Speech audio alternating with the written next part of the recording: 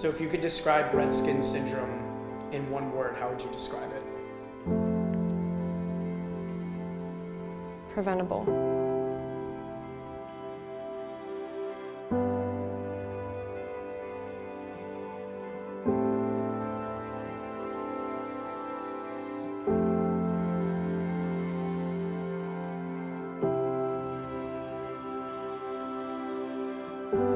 What doctors think is just my eczema getting worse is actually the medication of topical steroids making it worse.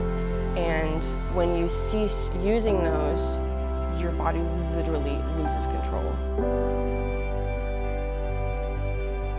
To go from doing something that I completely love, I mean, I'm a dancer by trade, to literally not doing anything was such a, a life-changing thing. I mean, I'm using the word difficult, but I think that's kind of an understatement.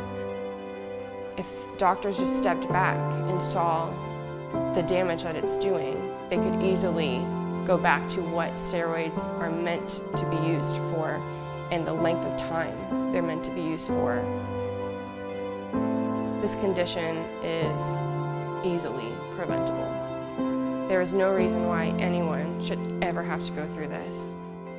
I had swollen eyes. I had redness that just creeped everywhere. I had a hard time controlling my body temperature. Any kind of movement was just draining. My blood pressure was low, my heartbeats were really, really fast. I had the insatiable itch that just kept coming. I had ooze just pouring out of me that was so pungent and it stuck to all of my clothes. I had skin that flaked everywhere. I had swollen lymph nodes and I think one of the worst things was when my hair started to fall out. The day I had to shave my head was the day that I realized that something had to be done.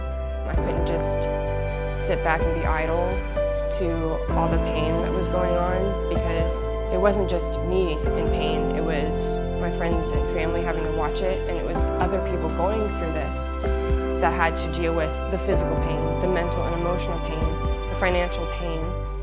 The NEA, the National Eczema Association, just came out with a statistic in June 2016 showing that 86% of patients were unsatisfied with their eczema treatment and 91% felt that their doctor didn't even know how to treat them. If that's not an outcry for reform, better education and more awareness, then I don't know what is. This is real, this is a problem, and it can be prevented, and it should be prevented.